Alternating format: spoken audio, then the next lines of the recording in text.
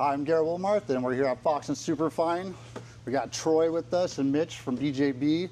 Uh, we've been having some problems running some clear lenses for Vipers, and they're going to come down and give us a hand and give us a couple pointers. Excellent. Awesome. Troy, what you got set up with that mold here? This looks suspiciously similar to what we did with John. So Yeah, yeah, very similar. So yeah, they've got a, a, a semi-complicated part in terms of uh, long, skinny, lots of places for uh, bubbles to get caught, and so we're gonna we're gonna run through um, some a new material system just with a little more lower viscosity, and then we're gonna try out a different vent strategy, different fill port strategy. Um, compared to doing a syringe injection, so we're going to look at doing a gravity pour, uh, venting it, tilting it up, and then we're going to see how we get it. and for for guys like me, why why the tilt? Why the rakish tilt to the mold? Well, if you have a bunch of vents or a bunch of geometry where you've got venting, it's always good to tell the air where to go. So if it's flat, the air will just rise to the ceiling and it may get stuck there. So when we go like that, the air knows to go high, and we're going to fill from the low part, and all that hydraulic pressure pushes the air out of the mold without a whole bunch of extra magic that you got to do to it. So actually, this just let gravity do the job for you. Excellent. And we're doing what? What do we have here? We have a WC85DM, Water Clear 85 DM. Elizabeth, you ready? I'm ready. All right, we're going to tape this up and uh, get some gloves on and get get on mixing.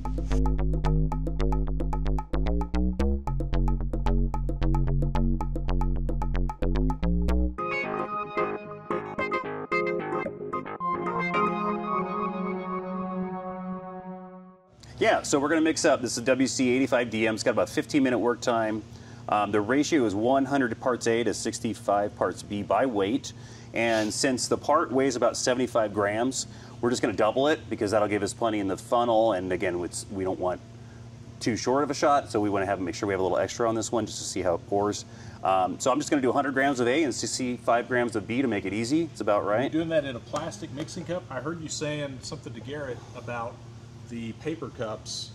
Yeah, with a lot of materials that aren't overly moisture sensitive, you can get away with paper wax paper cups. It's okay, and even wood stir sticks. But for the clears, um, again, we want to make sure that we get a, a really good degas, and so sometimes the strong degassing vacuum will pull bubbles from the cracks of these. So it's why fight it? Let's just use a, a plastic cup, and then we also avoid the moisture and everything. So we're going to use a little silicone mixing apparatus too, it's just to minimize any of the variables so we get the clearest bubble-free part we can.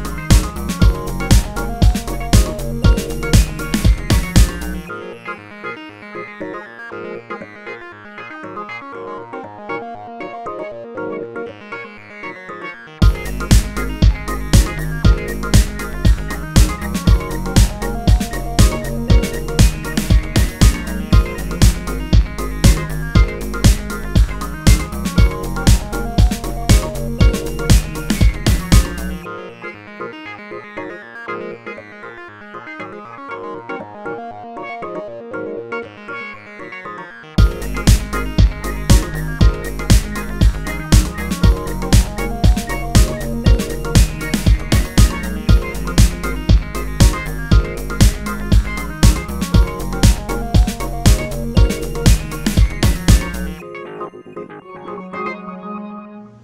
ahead and just carefully pour there.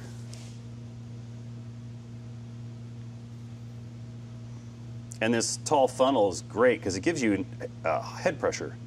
gives you like a hydraulic effect of getting the, the resin in there.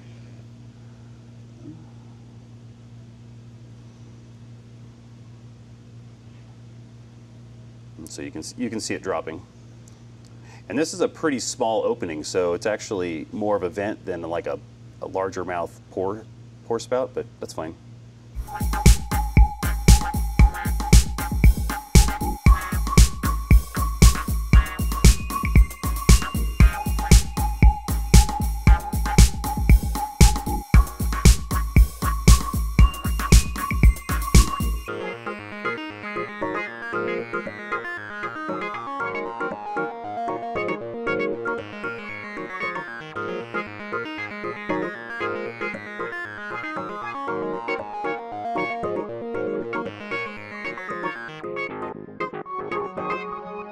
So it's the next day, and as you can see, Troy is back in California, and Garrett is off today.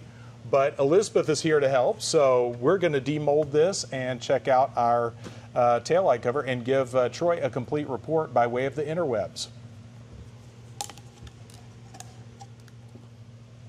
And this is one of the nice things about these little vents like this. When you connect those on the edge of a part, they just pop right off. So pretty easy vent removal by just twisting these and, and popping them off. Okay, there is our part, and that is a, a beautiful uh, taillight lens cover. So we're going to go ahead and finish demolding, but you see that uh, those vents popped right off. So minimal, minimal cleanup, minimal flashing here.